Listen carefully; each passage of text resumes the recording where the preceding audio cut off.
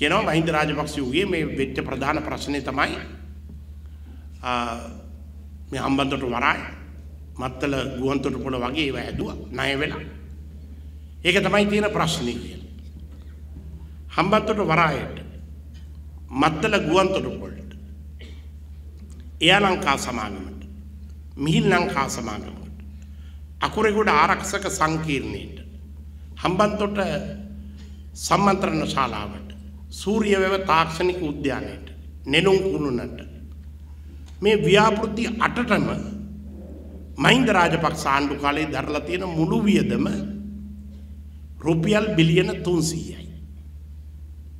හම්බන්තොට වරාය මත්තල ගුවන්තොටුපොළ අකුරේගොඩ ආරක්ෂක සංකීර්ණය නෙළුම් කුළුණ මේ මේ හම්බන්තොට සම්මන්ත්‍රණ ශාලාව තොරතුරු තාක්ෂණ උද්‍යානය මේ ව්‍යාපෘති අටටම ඇම රුපියල් බිලියන 300යි මුළු වියදම. මේක තමයි ලොකුම ප්‍රශ්නය කියලා කියන්නේ මිලියන 300යි. ලංකාවේ අවුරුද්දකට රජයේ සේවකයන්ට වැටුප් ගෙවන්න යන වැටුප් බිල බිලියන 700යි. අවුරුද්දකට වැටුප් ගෙවන්න යනවා බිලියන 700ක්. අර සියලුම සංවර්ධන ව්‍යාපෘති වලට බිලියන 300යි. මේ රජයේ යටතේ 2015 16 17 කියන අවුරුදු තුනේදී රුපියල බාල්දු වීම නිසා රුපියල කඩා වැටීම නිසා ජාතිය ණයබර වැඩි වෙලා තියෙනවා.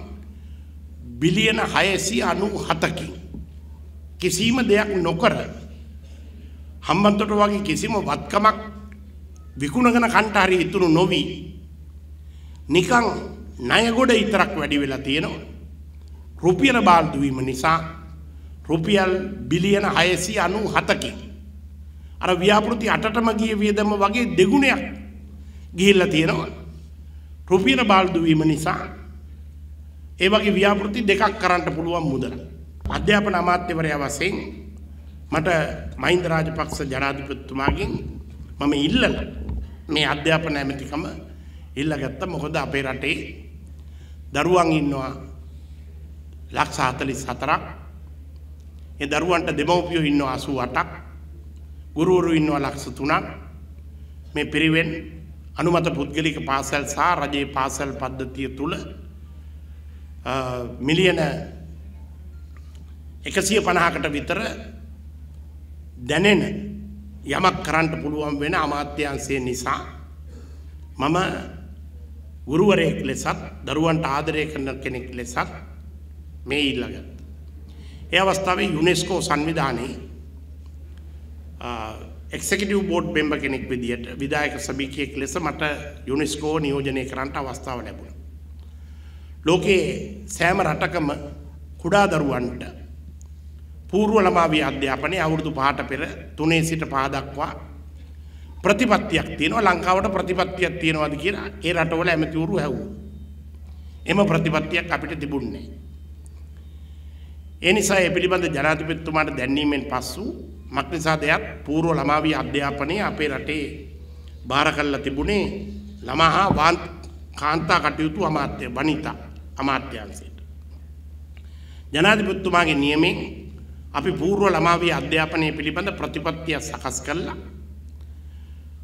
පුංචිම පුංචි දරුවට මේ ප්‍රාථමික අධ්‍යාපනයට පිවිසෙන්න පෙර උගන්නනවා වෙනුවට ඉගෙන ගැනීමට ඉඩ ප්‍රස්ථා ලබා දෙන ආකාරය පිළිබඳ විවිධ විද්‍යතුන් එකතු වෙලා. සකස් කරපු පූර්ව ළමාවී අධ්‍යාපන ප්‍රතිපත්තියත් ඒ සඳහා ක්‍රියාකාරී වැඩපිළිවෙලත් මෙහි සඳහන් වෙනවා දෙදස් පාලවෙදම් ක්‍රියාත්මක වෙන්ට තිබුණි. නව අධ්‍යාපන ඇමැත්තුමා මේ කුණු බක්තියට දාලා තියෙන නිසා.